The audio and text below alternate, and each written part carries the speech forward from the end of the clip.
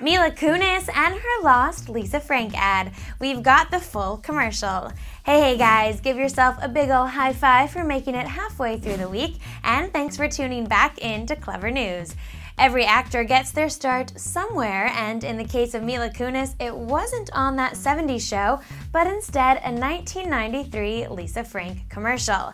Before I give you all the details on the ad and how it surfaced, have a look for yourself. Never forget the day I got stuck on Lisa Frank. The stickers were so cool. The colors were awesome. I gotta find more. So I go to the store. And wow, there's tons of awesome Lisa Frank stuff. I gotta have it. What more can I say? The commercial was featured inside a Lisa Frank documentary that was just released by Urban Outfitters.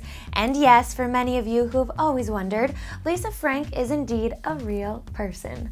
The glittery rainbow and teddy bear loving company allowed Urban to film a tour of the warehouse for the documentary they produced, and they had the rare opportunity to interview the oh so magical Lisa Frank herself.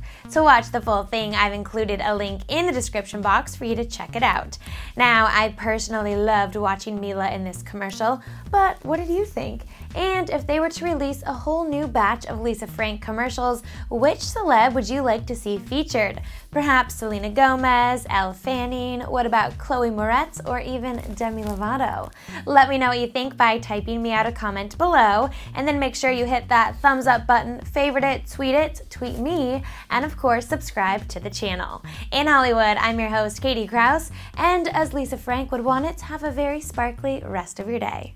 Hey guys, if you want to watch another Clevver News video, go ahead and click those boxes right next to me. And then make sure you hit that subscribe button because guess what?